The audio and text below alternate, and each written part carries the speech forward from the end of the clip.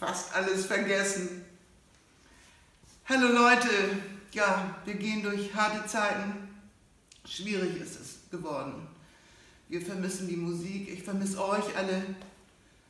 Und äh, die einzige Möglichkeit ist, diese freie Zeit zu nutzen für neue Projekte, für neue Musik. Das habe ich gemacht. Ich habe eine Biografie geschrieben, ich habe neue Musik geschrieben, alles für nächstes Jahr, wenn ich meinen 75. Geburtstag feiere. Bis dahin grüße ich euch alle, bleibt gesund und munter.